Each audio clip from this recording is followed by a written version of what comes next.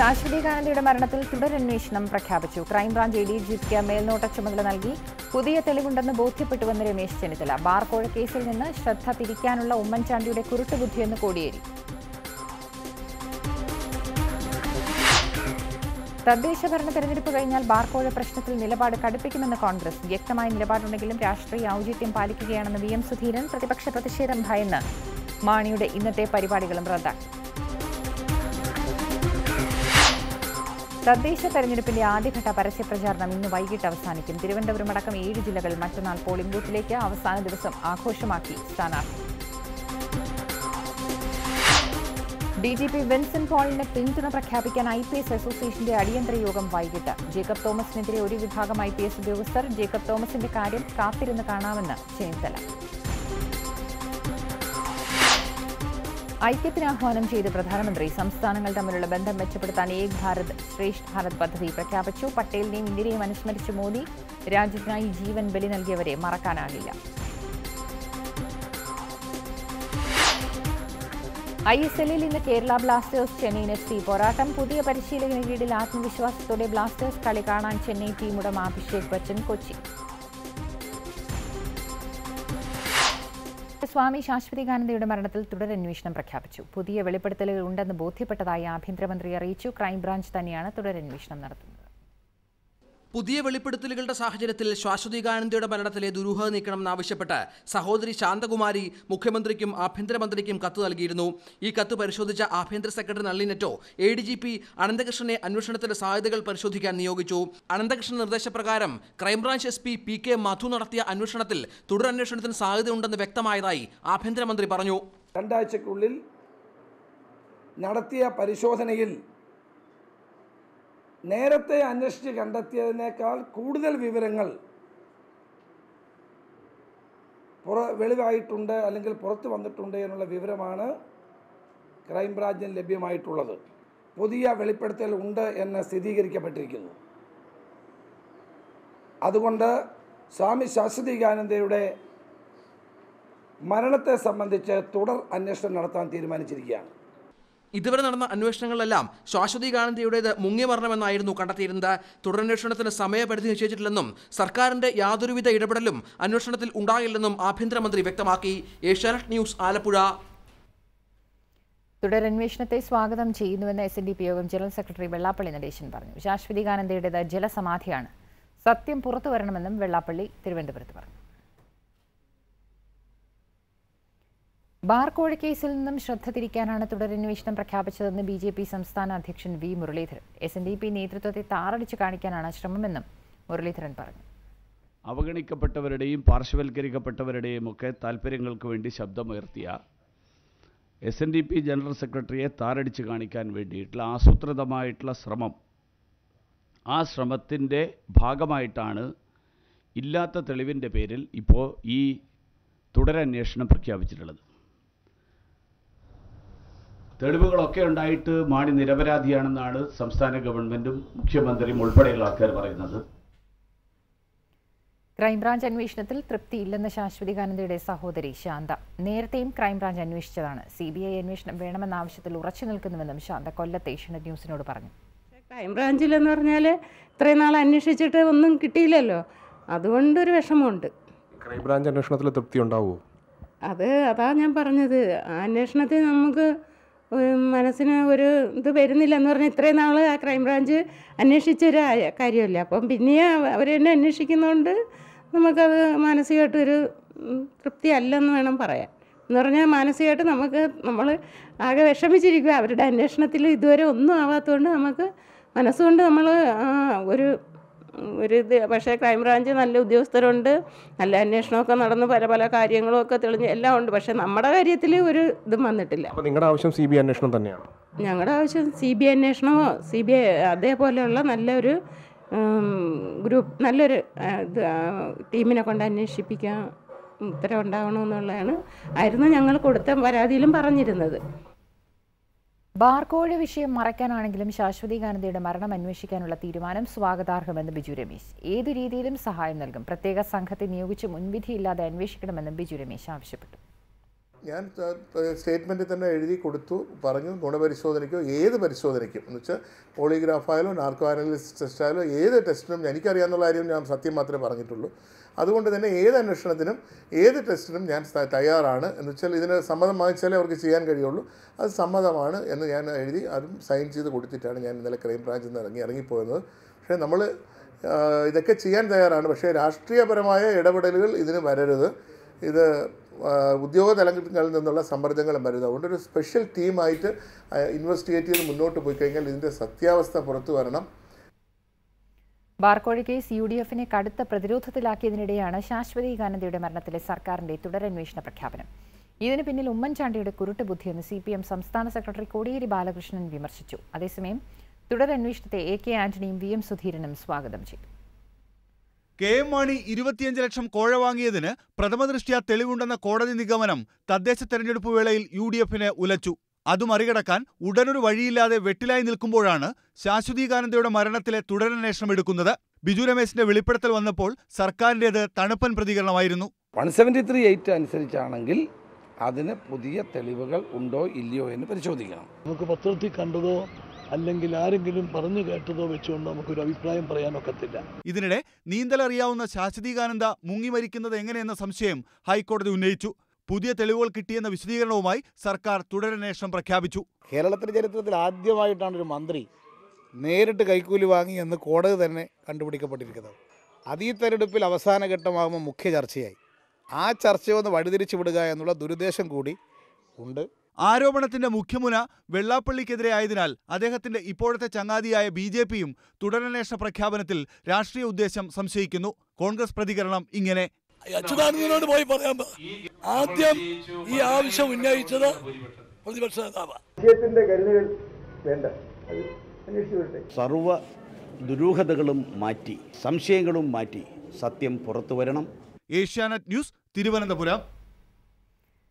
ബാർക്കോഴി കേസിൽ K M മാണിയുടെ രാജിയിലേക്കാണ് കാര്യങ്ങൾ പോകുന്നത് എന്ന സൂചന നൽകി വി എം സുധീരനും പി കെ കുഞ്ഞാലിക്കുട്ടിയും. ഇക്കാര്യത്തിൽ തനിക്ക് വ്യക്തിപരമായ അഭിപ്രായമുണ്ടെന്നും നല്ലതിനായി കാത്തിരിക്കാമെന്നും സുധീരൻ തിരുവനന്തപുരത്ത് പറഞ്ഞു. തെരഞ്ഞെടുപ്പിന് ശേഷം ഇക്കാര്യങ്ങൾ ശാന്തമായി ചിന്തിച്ച് തീരുമാനമെടുക്കുമെന്ന് മന്ത്രി പി കെ കുഞ്ഞാലിക്കുട്ടി കോഴിക്കോട് പറഞ്ഞു. വിജിലൻസ് കോടതി വിധിയുടെ പശ്ചാത്തലത്തിൽ മാണി രാജിവെക്കണമെന്നതാണ് തന്റെ അഭിപ്രായമെന്ന സൂചന നൽകിയാണ് വി എം സുധീരൻ ഇന്നും പ്രതികരിച്ചത്. ഇക്കാര്യത്തിൽ താൻ ഔചിത്യം പാലിക്കുകയാണെന്നും നല്ലതിനായി കാത്തിരിക്കാമെന്നും സുധീരൻ തിരുവനന്തപുരത്ത് പറഞ്ഞു. അതേ സംബന്ധിച്ച് ഇപ്പോൾ ഒരു അഭിപ്രായ പ്രകടനത്തിന് മുതിരുന്നില്ല എല്ലാ കാര്യങ്ങളും വേണ്ട സമയത്ത് വേണ്ടതുപോലെ എല്ലാ കാര്യങ്ങളും കൈകാര്യം ചെയ്യപ്പെടും. മാണിയുടെ രാജി തെരഞ്ഞെടുപ്പിന് ശേഷം ഉണ്ടാകുമെന്ന സൂചന നൽകുന്നതായിരുന്നു കുഞ്ഞാലിക്കുട്ടിയുടെയും വാക്കുകൾ. ഇക്കാര്യത്തിൽ ലീഗിന്റെ നിലപാടിലും മാറ്റം വന്നു എന്ന സൂചനകളും കുഞ്ഞാലിക്കുട്ടിയുടെ വാക്കുകളിൽ വ്യക്തമാണ്. രാജ്യകാര്യം തെരഞ്ഞെടുപ്പിന് ശേഷം ശാന്തമായി ചിന്തിച്ച് തീരുമാനിക്കാമെന്നാണ് കുഞ്ഞാലിക്കുട്ടി കോഴിക്കോട്ട് പറഞ്ഞത്. ഞാൻ ചെയ്തതുമായിട്ട് അതിനെ താരതമ്യപ്പെടുത്തണ്ട. എടുത്തു ചാടി ഒരു രാജി ആവശ്യമില്ല. തെരഞ്ഞെടുപ്പ് കഴിഞ്ഞതിന് ശേഷം ഈ വക വിഷയങ്ങളൊക്കെ കുറച്ചുകൂടി ക്വയറ്റായിട്ട് ചർച്ച ചെയ്യാവുന്നതാണ്. ബാർ കൊഴക്കേസിൽ മാണിക്കെതിരായ തുടരന്വേഷണത്തെക്കുറിച്ചുള്ള ആന്റണിയുടെ അഭിപ്രായം പരിഹാസ്യമാണെന്ന് C P M polit bureau അംഗം പിണറായി വിജയൻ പറഞ്ഞു. അഴിമതി വ്യക്തിപരമായ ധാർമ്മികതയുടെ പ്രശ്നമല്ല മറിച്ച് പൊതുധാർമ്മികതയുടെ വിഷയമാണ്. ധാർമ്മികത വ്യക്തിപരമാണെന്ന നിലപാടിലൂടെ കള്ളനെ ചൂട്ടുപിടിക്കുകയാണ് എ കെ ആന്റണി ചെയ്തതെന്നും പിണറായി വിജയൻ കൊച്ചിയിൽ പറഞ്ഞു. അതിനിടെ ഇടതു പ്രതിഷേധം ഭയന്ന കെ എം മാണി ഇന്നും തെരഞ്ഞെടുപ്പ് യോഗങ്ങളിൽ പങ്കെടുത്തില്ല. പാലയിലെ ചില സ്വകാര്യ ചടങ്ങുകളിൽ അദ്ദേഹം പങ്കെടുത്തു.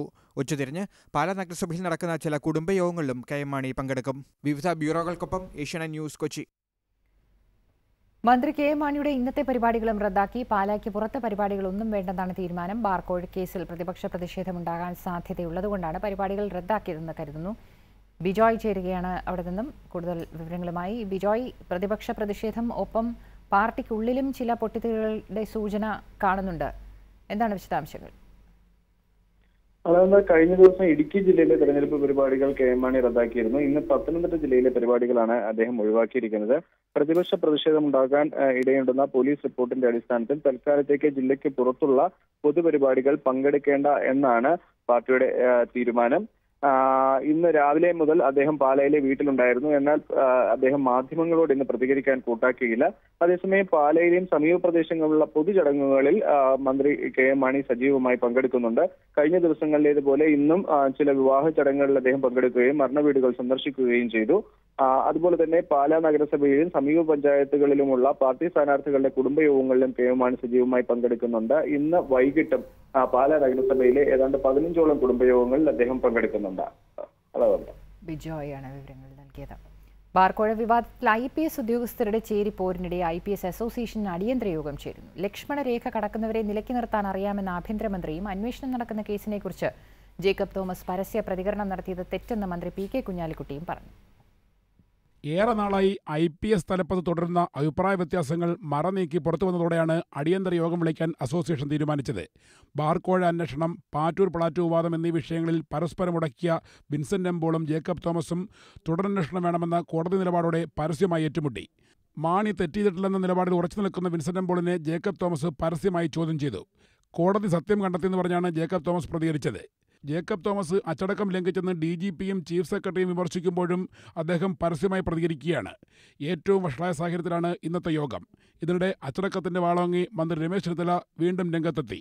ഉദ്യോഗസ്ഥന്മാർക്ക് എവിടെ വരെ അഭിപ്രായ പ്രകടനം നടത്താം സർക്കാരിനെ എവിടെ വരെ വിമർശിക്കാം എന്നുള്ളതിനെ സംബന്ധിച്ചൊരു ലക്ഷ്മണരേഖയുണ്ട് മന്ത്രി പി കെ കുഞ്ഞാലിക്കുട്ടിയും ജേക്കബ് തോമസിനെ വിമർശിച്ചു. ഇത് അന്വേഷണ ഘട്ടമല്ലേ? ഈ അന്വേഷണ ഘട്ടത്തിൽ ഇതിൽ തെളിവുണ്ട് എന്ന് പരസ്യമായിട്ട് പറയുന്നത് ശരിയല്ലല്ലോ. വിവാദത്തെ തുടർന്ന് സ്ഥാനമൊഴിഞ്ഞ വിൽസൺ എംബോളിന് ഇന്നത്തെ യോഗം പൂർണ പിന്തുണ പ്രഖ്യാപിക്കാനാണ് സാധ്യത. ഏഷ്യാനെറ്റ് ന്യൂസ് തിരുവനന്തപുരം. ഏഴ് ജില്ലകളിൽ ഇന്ന് കലാശക്കൊട്ട്. തദ്ദേശ തെരഞ്ഞെടുപ്പിലെ ആദ്യഘട്ടം വോട്ടെടുപ്പ് മറ്റന്നാളാണ്. ആദ്യം വോട്ടെടുപ്പ് നടക്കുന്ന ഏഴ് ജില്ലകളിൽ അഞ്ച് മണിക്ക് പരസ്യ പ്രചാരണം അവസാനിക്കും. അതീവ പ്രശ്ന സാധ്യതയുള്ള ആയിരത്തി മുന്നൂറ്റി പതിനഞ്ച് ബൂത്തുകളിൽ വെബ്കാസ്റ്റിംഗ് ഏർപ്പെടുത്തിയതായി തെരഞ്ഞെടുപ്പ് കമ്മീഷണർ അറിയിച്ചു. ഒരു മാസം നീണ്ട ചൂടൻ പ്രചാരണത്തിന്റെ ആവേശം വാനോളമുയർത്തി ഇന്ന് കലാശക്കൊട്ട്. മൂന്നാം ചേരി മുതൽ ബീഫും സൗഹൃദ മത്സരപ്പോരും നായകനാരെന്ന ചർച്ചയും പിന്നിട്ട് പ്രചാരണം ഒടുവിൽ ബാർക്കോഴയിൽ മാണിക്കെതിരായ കോടതി ഉത്തരവെന്ന വജ്രായുധത്തിലാണ് ഇടതു പ്രതീക്ഷ. എന്നാൽ ആശങ്കയുണ്ടെങ്കിലും ഭരണ തുടർച്ചയ്ക്ക് കളമൊരുങ്ങുമെന്ന കണക്കുകൂട്ടലിൽ യു ഡി എഫ് മൂന്നാം ചേരി പരീക്ഷണത്തിൽ കണ്ണുനട്ട് ബി ജെ പി ഒരുക്കങ്ങൾ പൂർത്തിയായതായി തെരഞ്ഞെടുപ്പ് കമ്മീഷൻ അറിയിച്ചു. ആയിരത്തി പത്തൊൻപത് ബൂത്തുകളിൽ വെബ്കാസ്റ്റിംഗ് ആണ് നമ്മൾ ഏർപ്പാട് ചെയ്തിട്ടുള്ളത്. വെബ്കാസ്റ്റിംഗ് അത് അതിന്റെ സംവിധാനങ്ങളെല്ലാം തന്നെ അത് ക്രമീകരിച്ചിട്ടുണ്ട്. തിരുവനന്തപുരം കോർപ്പറേഷനിൽ രണ്ടു പതിറ്റാണ്ട് പിന്നിട്ട ഇടതു ഭരണത്തിന്റെ അറുതിവരത്തിലാണ് യു ഡി എഫിന്റെ ലക്ഷ്യം. അധികാര തുടർച്ചയ്ക്കാണ് ഇടത് അഭ്യർത്ഥന വിമതശല്യം ഇരു മുന്നണികൾക്കുമുണ്ട്. കഴിഞ്ഞ തവണ ആറ് സീറ്റ് നേടിയ ബി ജെ പിക്ക് തലസ്ഥാനത്ത് ഇത്തവണ വലിയ പ്രതീക്ഷ. കൊല്ലം കോർപ്പറേഷനിലും ജില്ലാ പഞ്ചായത്തിലും രണ്ടായിരത്തി പത്തിൽ നേടിയ മേൽക്കൈ നിലനിർത്താൻ എൽ ഡി എഫ് ശ്രമിക്കുമ്പോൾ യു ഡി എഫ് ലക്ഷ്യം അട്ടിമറി ജയം. ആർ എസ് പിയുടെ ചുവടുമാറ്റത്തിൽ യു ഡി എഫ് പ്രതീക്ഷ വയ്ക്കുമ്പോൾ പിള്ള ഗ്രൂപ്പിന്റെ സ്വാധീനം കൂടി ഇത്തവണ ഇടതിനുണ്ട്. ഇടുക്കിയിൽ കഴിഞ്ഞ തവണത്തെ യു ഡി എഫിന്റെ സമ്പൂർണ മേധാവിത്വം തകർക്കുമെന്നാണ് ഇടതിന്റെ അവകാശവാദം. എന്നാൽ മലനിരകൾ ഒപ്പം നിൽക്കുമെന്ന് തന്നെ യു ഡി എഫ് കരുതുന്നു. പെമ്പിളൈ ഒരുമയുടെയും ഹൈറേഞ്ച് സംരക്ഷണ സമിതിയുടെയും നിലപാടുകളും ഇടുക്കിയിൽ ഇത്തവണ നിർണായകം. വിവിധ ബ്യൂറോകൾക്കൊപ്പം ഏഷ്യാനെറ്റ് ന്യൂസ് തിരുവനന്തപുരം. അവസാന മണിക്കൂറുകളിൽ എത്തിയതോടെ നാല് വടക്കൻ ജില്ലകളിലും പ്രചാരണ ചൂട് ശക്തമായി. കണ്ണൂരിൽ സുരക്ഷയ്ക്കായി ഒൻപതിനായിരം പോലീസിനെ വിന്യസിക്കും. കോഴിക്കോട് കണ്ണൂർ കാസർഗോഡ് ജില്ലകളിലായി അഞ്ഞൂറിലേറെ ബൂത്തുകൾ അതീവ പ്രശ്നബാധിത ബൂത്തുകളായി തരംതിരിച്ചിട്ടുണ്ട്. കാസർഗോഡ് ജില്ലാ പഞ്ചായത്തിലേക്കും കാഞ്ഞങ്ങാട് നഗരസഭയിലേക്കുമുള്ള പോരാട്ടമാണ് ഇരുമുന്നണികളുടെയും കണക്കൂട്ടലിന് പുറത്തേക്ക് നീങ്ങുന്നത്. ഇവിടെ ബി ജെ പിയുടെ കൈവശമുള്ള സംസ്ഥാനത്തെ തന്നെ ഒരേ ഒരു ജില്ലാ പഞ്ചായത്ത് ഡിവിഷൻ നഷ്ടപ്പെടുമോ എന്നുള്ള ആശങ്ക അവർക്കുണ്ട്. കോൺഗ്രസ് മുതൽ മത്സരിക്കുന്ന ഈസ്റ്റൽ ഏരിയയാണ് മറ്റൊരു പ്രധാന ശ്രദ്ധാകേന്ദ്രം കാസർഗോഡ് ജില്ലയിലെ മുപ്പത്തിരണ്ട് ബൂത്തുകൾ അതീവ പ്രശ്നസാധ്യത ബൂത്തുകളാണ്. കണ്ണൂർ കോർപ്പറേഷൻ കോൺഗ്രസ് മുതൽ ഭീഷണിയുടെ പശ്ചാത്തലത്തിൽ പിടിച്ചെടുക്കാനാകുമെന്ന് എൽ ഡി എഫ് കണക്കുകൂട്ടുന്നു. എന്നാൽ ഭൂരിപക്ഷം കുറഞ്ഞേക്കും എന്ന് മാത്രമാണ് യു ഡി എഫിന്റെ നിഗമനം. ജില്ലാ പഞ്ചായത്തിൽ കണ്ണുവെച്ചാണ് യു ഡി എഫിന്റെ പ്രവർത്തനം. പുതുതായി ഉണ്ടാക്കിയ തളിപ്പറമ്പ് പാനൂർ മുനിസിപ്പാലിറ്റികൾ നേടാമെന്ന് യു ഡി എഫും തലശ്ശേരിയും കുത്തുപറമ്പും നിലനിർത്താമെന്നും എൽ ഡി എഫും കരുതുന്നു. പയ്യന്നൂരിലും ഇരട്ടിയിലും പൊരിഞ്ഞ പോരാട്ടമാണ്. സംസ്ഥാനത്ത് ഏറ്റവും കൂടുതൽ അതീവ പ്രശ്നസാധ്യ ബൂത്തുകൾ കണ്ണൂരിലാണുള്ളത്. അതുകൊണ്ട് തന്നെ ഇവിടെ തൊള്ളായിരത്തിലേറെ പോലീസുകാരെ അധികമായി വിന്യസിക്കും. വയനാട്ടിലെ മൂന്ന് മുനിസിപ്പാലിറ്റികളിലും മത്സരം മുറുകിയെങ്കിലും യു ഡി എഫ് ആത്മവിശ്വാസത്തിലാണ്. ജില്ലാ പഞ്ചായത്തിലും അവർക്ക് മുൻതൂക്കമുണ്ട്. കോഴിക്കോട് കോർപ്പറേഷനിൽ മത്സരം മുറുകിയിരിക്കുകയാണ്. നഗരവാർഡുകൾ തിരിച്ചുപിടിക്കാൻ എൽ ഡി എഫ് ശ്രമിക്കുമ്പോൾ ബേപ്പൂർ ചെറുവണ്ണൂർ മേഖലകളിൽ നിന്ന് കൂടുതൽ സിരി നേടാനാണ് യു ഡി എഫിന്റെ ശ്രമം. ഒഞ്ചി നിലനിർത്താൻ ആർ എം പിക്ക് വെല്ലുവിളിയുണ്ട്. ആകെയുള്ള ഏഴ് മുനിസിപ്പാലിറ്റികളിൽ രണ്ടിടത്ത് എൽ ഡി എഫും രണ്ടിടത്ത് യു ഡി എഫും വിജയസാധ്യത കാണുന്നു. കോഴിക്കോട് ജില്ലയിലെ മൂന്ന് മുനിസിപ്പാലിറ്റികളിൽ പൊരിഞ്ഞ പോരാട്ടം നടക്കുകയാണ്. കാസർകോട്ടും കോഴിക്കോട്ടും പ്രതീക്ഷിക്കാതെ പോരാട്ടം മുറുകിയിരിക്കുകയാണ്. വയനാട്ടിലും കോഴിക്കോട്ടും എൽ ഡി എഫിലും യു ഡി എഫിലും വിമതന്മാരുടെ ശല്യമുണ്ട്. യു ഡി എഫിനാണ് വിമത തലവേദന കൂടുതൽ. ഒപ്പം ന്യൂനപക്ഷ വോട്ടുകളുടെ അടിയൊടുക്ക് എങ്ങോട്ടാണെന്നുള്ള കാര്യത്തിൽ ആർക്കും തീർച്ചയില്ല. കോഴിക്കോട് നിന്നും ഷാജഹാൻ ഏഷ്യാൻ ന്യൂസ്. മലപ്പുറത്ത് മുസ്ലിം ലീഗ് സ്ഥാനാർത്ഥിക്കെതിരെ ഇ കെ സുന്നികളിലെ ഒരു വിഭാഗം പരസ്യ പ്രചാരണത്തിന്. കരുവാരക്കുണ്ട് ജില്ലാ പഞ്ചായത്ത് ഡിവിഷനിൽ നിന്നും മത്സരിക്കുന്ന എം എസ് എഫ് സംസ്ഥാന പ്രസിഡന്റ് ടി പി അഷ്റഫ് അലിക്കെതിരെയാണ് ലീഗിനെ പിന്തുണയ്ക്കുന്ന മതസംഘടനയിൽ ഒരു വിഭാഗം തന്നെ രംഗത്തെത്തിയിരിക്കുന്നത്. രണ്ടു വർഷം മുമ്പ് മുസ്ലിം പെൺകുട്ടികളുടെ വിവാഹപ്രായ വിവാദം ഉയർന്നപ്പോൾ പതിനെട്ട് തികയാത്ത വിവാഹങ്ങൾക്കെതിരെ ടി പി അഷ്റഫ് അലി ശക്തമായ വിമർശനം ഉന്നയിച്ചിരുന്നു. അന്ന് ഇത്തരം വിവാഹങ്ങളെ അനുകൂലിച്ച മതപണ്ഡിതരെ ആക്ഷേപിച്ച് അഷ്റഫ് അലി സംസാരിച്ചതാണ് ഇ കെ സുന്നികളിൽ ഒരു വിഭാഗത്തെ ചൊടിപ്പിച്ചത്. ഇവരാണ് ഇന്ത്യൻ മൈനോറിറ്റി മിഷൻ എന്ന സംഘടനയുടെ ആഭിമുഖ്യത്തിൽ അഷ്റഫ് അലിക്കെതിരെ പ്രചാരണം നടത്തുന്നത്. അതുകൊണ്ട് ഇത്തരം ജനപ്രതിനിധികൾക്ക് ജനാധിപത്യത്തിന്റെ ഫലം നൽകരുത്. ജനാധിപത്യത്തിന് ശക്തി നൽകരുത്. അവരെ നിയമനിർമ്മാണ സഭകളിലേക്കുള്ള സ്റ്റെപ്പിംഗ് സ്റ്റോൺ ആയിട്ടുള്ള ജില്ലാ പഞ്ചായത്തുകളിലേക്ക് ആക്കുന്നത് അത് വളരെ ദോഷകരമായ ഒരു സാഹചര്യമായിരിക്കും ഉണ്ടാകുക.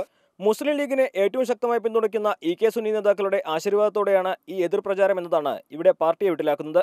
എന്നാൽ ഇക്കാര്യത്തിൽ ആശങ്കയൊന്നുമില്ലെന്നും പ്രചാരണം നടത്തുന്നത് ഇ കെ സുന്നിയുടെ ഭാഗമായവരോ അല്ലെന്നുമാണ് ടി പി അഷ്റഫലിയുടെ പ്രതികരണം. പ്രചാരണം നടത്തുന്ന ആളുകൾ തീർച്ചയായും എതിർ സ്ഥാനാർത്ഥിയിൽ നിന്നും സാമ്പത്തിക ലാഭം പ്രതീക്ഷിച്ചിട്ടുള്ള ഇവിടുത്തെ യു ഡി എഫിന്റെ മുന്നണി സംവിധാനങ്ങളെ തകർക്കണമെന്ന് ആഗ്രഹിക്കുന്ന ശക്തികളായിരിക്കും. അത്തരത്തിൽ ആരെങ്കിലും ഉണ്ടെങ്കിൽ അവർക്ക് ഈ സമസ്തയുമായ ഒരു ബന്ധമുണ്ട് എന്ന് ഞാൻ വിശ്വസിക്കുന്നില്ല. ലീഗും കോൺഗ്രസും നേർക്കുനേർ മത്സരിക്കുന്ന കരുവാരകുണ്ട് കാളികാവ് പഞ്ചായത്തുകളിലെ തർക്കം ജില്ലാ പഞ്ചായത്ത് തെരഞ്ഞെടുപ്പിനെ ബാധിക്കുമോ എന്ന് യു ഡി എഫ് ക്യാമ്പ് ആശങ്കപ്പെടുന്നതിനിടെയാണ് പുതിയ സംഭവവികാസങ്ങൾ.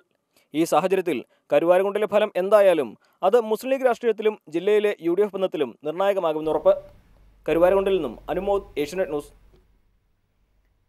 സർദാർ വല്ലഭായ് പട്ടേലിന്റെ ജീവിതം മാതൃകയാക്കി രാജ്യത്തിന്റെ ഐക്യത്തിനു വേണ്ടി നിലകൊള്ളുമെന്ന് പ്രധാനമന്ത്രി നരേന്ദ്രമോദി. ഭാഷാപരമായും സാംസ്കാരികവുമായി സംസ്ഥാനങ്ങളെ ഒന്നിപ്പിക്കുന്നതിനായി ഏക ഭാരതം ശ്രേഷ്ഠ ഭാരതം പദ്ധതി പ്രധാനമന്ത്രി പ്രഖ്യാപിച്ചു. പ്രസംഗത്തിൽ ഇന്ദിരാഗാന്ധിയെ മോദി അനുസ്മരിച്ചു. ഐക്യ സന്ദേശവുമായി രാജ്പഥിൽ കൂട്ടയോട്ടം സംഘടിപ്പിച്ചിരുന്നു. ഇന്ദിരാഗാന്ധിയുടെ മുപ്പത്തിയൊന്നാം രക്തസാക്ഷിത്വ ദിനത്തെ അനുസ്മരിച്ചുകൊണ്ടാണ് സർദാർ പട്ടേലിന്റെ ജന്മദിനത്തിൽ ഏകതയ്ക്ക് വേണ്ടിയുള്ള കൂട്ടയോട്ടം പ്രധാനമന്ത്രി നരേന്ദ്രമോദി ഉദ്ഘാടനം ചെയ്തത്. രാജ്യത്തിനു വേണ്ടി ജീവൻ ബലിയർപ്പിച്ചവരെ വിസ്മരിക്കാനാകില്ല എന്ന് പറഞ്ഞ പ്രധാനമന്ത്രി ഐക്യത്തിനു വേണ്ടി നിലകൊള്ളുമെന്ന് വ്യക്തമാക്കി സംസ്ഥാനങ്ങൾ തമ്മിലുള്ള ഭാഷാപരവും സാംസ്കാരികവുമായ അകൽച്ച ഇല്ലാതാക്കാൻ ഒരു ഭാരതം ശ്രേഷ്ഠ ഭാരതം മിഷൻ പ്രധാനമന്ത്രി പ്രഖ്യാപിച്ചു एक भारत श्रेष्ठ भारत कल्पना ये है हर वर्ष अपने राज्य को किसी एक राज्य के साथ हर राज्य जोड़े ഐക്യത്തിനു വേണ്ടി നടത്തിയ പ്രസംഗത്തിൽ എവിടെയും രാജ്യത്ത് വ്യാപിക്കുന്ന അസഹിഷ്ണുതയെക്കുറിച്ച് ഒരു പരാമർശവും പ്രധാനമന്ത്രി നടത്തിയില്ല. രാജ്പഥിൽ നടന്ന ഏകതയ്ക്ക് വേണ്ടിയുള്ള കൂട്ടയോട്ടത്തിന് കായിക താരം അഞ്ജു ബോബി ജോർജ് നേതൃത്വം നൽകി.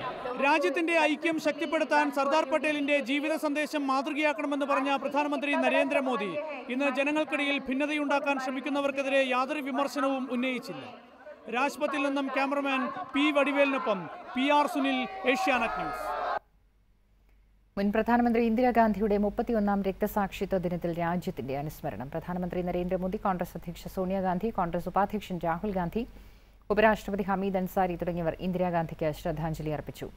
സോണിയയും രാഹുലും മുൻ പ്രധാനമന്ത്രി മൻമോഹൻ സിംഗും ശക്തിസ്ഥലിലെത്തി പുഷ്പാഞ്ജലിയും അർപ്പിച്ചു. രക്തസാക്ഷിത്വ ദിനത്തിന്റെ ഭാഗമായി കോൺഗ്രസ് ആസ്ഥാനത്തും അനുസ്മരണ ചടങ്ങ് നടന്നു.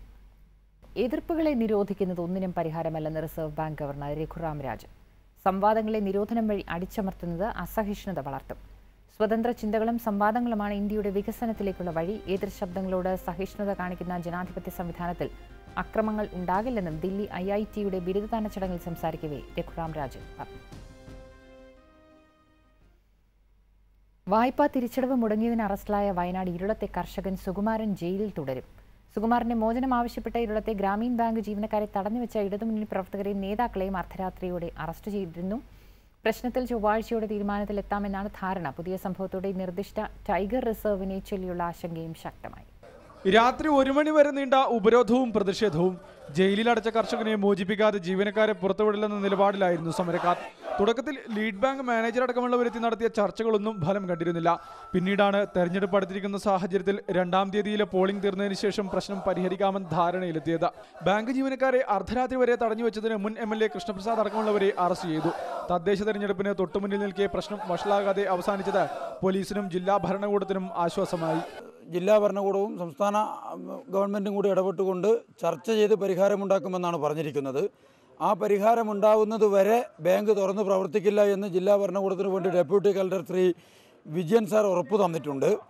അതേസമയം ജില്ലയിലെ നിർദ്ദിഷ്ട ടൈഗർ റിസർവിനെ ചൊല്ലി വരാനിരിക്കുന്ന വലിയ പൊട്ടിത്തെറിയുടെ തുടക്കമായി വേണം കർഷകനെ ജയിലിലടച്ച സംഭവത്തെ കണക്കാക്കാൻ. പൂതാടി കിടങ്ങനാട് ഇരുളപടക്കം പതിമൂന്ന് വില്ലേജുകൾ ഈ പരിധിയിൽ വരുന്നതാണെന്നും സുകുമാരന് നേരെയുണ്ടായ അതേ നടപടി തങ്ങൾക്ക് നേരെയും ഉണ്ടാകുമെന്നും വായ്പയെടുത്ത കർഷകർക്ക് ആശങ്കയുണ്ട്. ടൈഗർ റിസർവ് ആണെന്ന കാരണത്താലാണ് സുകുമാരൻ ബാങ്കിൽ ഈടായി നൽകിയ എഴുപത്തി അഞ്ച് സെന്റ് ഭൂമി ലേലം ചെയ്യാതെ നിയമ നടപടി സ്വീകരിച്ചത്. എന്നാൽ ബാങ്ക് ഇക്കാര്യത്തിൽ വ്യക്തത നൽകാൻ ഇനിയും തയ്യാറാവുന്നില്ല. സങ്കീർണമായ നീളുമായിരുന്ന ഒരു സമരം താൽക്കാലികമായി അവസാനിച്ചുവെങ്കിലും ടൈഗർ റിസർവിനെ ചൊല്ലിയുള്ള ആശങ്കകൾ വരും ദിവസങ്ങളിൽ വയനാടിനെ പിടിച്ചുകൊലുക്കുമെന്ന് ഉറപ്പാണ്. വയനാട് ഇരുളത്ത് നിന്നും ക്യാമറാമാൻ അജീഷ് വെഞ്ഞാറമുടിനൊപ്പം സഹൽസി മുഹമ്മദ് ഏഷ്യാനെറ്റ് ന്യൂസ്. സംസ്ഥാനത്ത് അടുത്ത മൂന്ന് ദിവസം കൂടി ശക്തമായ മഴ തുടരും. ഇന്ന് ഉച്ചയോടെ മധ്യ കേരളത്തിലും വൈകിട്ടോടെ വടക്കൻ കേരളത്തിലും മഴ ശക്തി പ്രാപിക്കുമെന്ന് കാലാവസ്ഥാ നിരീക്ഷണ കേന്ദ്രം മുന്നറിയിപ്പ് നൽകി. കുട്ടികൾ പുഴയിൽ ഇറങ്ങരുതെന്നും മലയോര മേഖലകളിലൂടെ രാത്രി സഞ്ചാരം ഒഴിവാക്കണമെന്നും ദുരന്ത നിവാരണ സേന മുന്നറിയിപ്പ് നൽകിയിട്ടുണ്ട്. പ്രധാന നഗരങ്ങളിലെ താപനില ഡിഗ്രി സെൽഷ്യസിൽ. തിരുവനന്തപുരം മുപ്പത്തിരണ്ട് ഡിഗ്രി സെൽഷ്യസ് പുനലൂർ മുപ്പത്തിനാല് ആലപ്പുഴ മുപ്പത്തിമൂന്ന് കൊച്ചി മുപ്പത്തിനാല് കോഴിക്കോട് മുപ്പത്തിയഞ്ച് കണ്ണൂർ മുപ്പത്തിയഞ്ച്. തിരുവനന്തപുരം വിമാനത്താവളം മുപ്പത്തിരണ്ട് കരിപ്പൂർ വിമാനത്താവളം മുപ്പത്തിമൂന്ന് ഡിഗ്രി സെൽഷ്യസ്. ഇനി ഐ എസ് എൽ വാർത്തകളിലേക്ക്.